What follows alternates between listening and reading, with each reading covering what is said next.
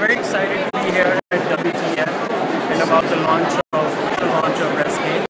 As you can see, we have a very very busy stand. Uh, I think the reception to the product has been great. Uh, people are very very excited about the new features, especially the promotions feature to Facebook and Twitter, so that they can get direct bookings to their own website. And I think people are also appreciating a lot the reporting capabilities in RezGain, the ability to actually drill down and actually see the cost of distribution across their uh, channels.